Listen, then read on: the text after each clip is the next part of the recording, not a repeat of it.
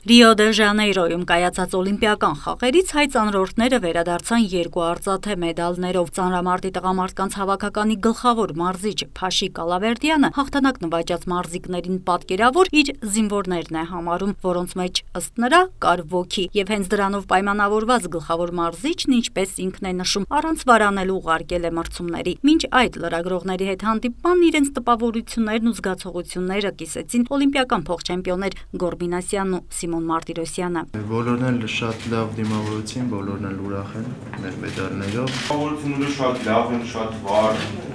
Մենք շատ երկար էինք պատրաստել այս մրցումների շատ աշխատանքի կատարել մենք մարզիչները ղեկավարությունը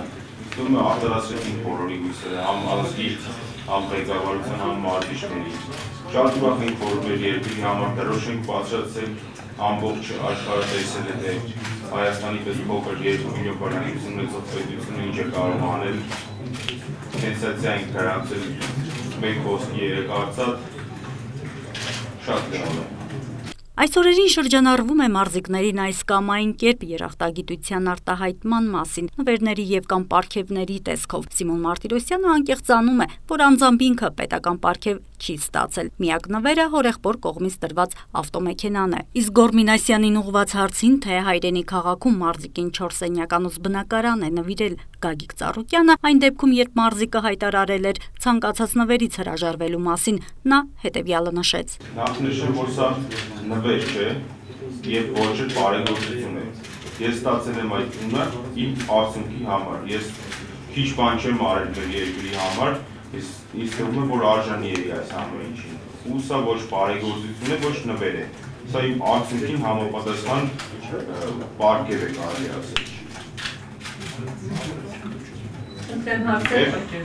Շնորհակալ եմ պարոն Սարուկյանին, որ գնահատում է մեր արդյունքները եւ միշտ այսպիսի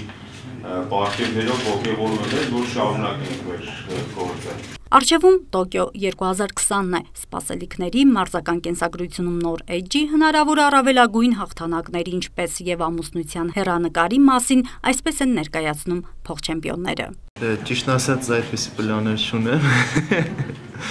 Իսկ ինչ մնում է 20 թվականի օլիմպիական խաղերին, մենք պլանավորել ենք մասնակցել եւ շատ լավ մարզավիճակում եւ աստվածտա որպեսզի ավելի լավ գույնի մեդալներ բերենք այնտեղից եթե վնասվածքներ չստանանք ամեն շատ լավ կլինի ես կարող եմ ասել որ ավելի բարձրացված ենք մարզում արդեն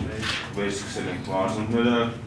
ինչպես չէ որ օլիմպիական մեդալ ենք նվաճել պետք է երկու տարի հանգստանանք արդեն վերսկսել ենք մարզումները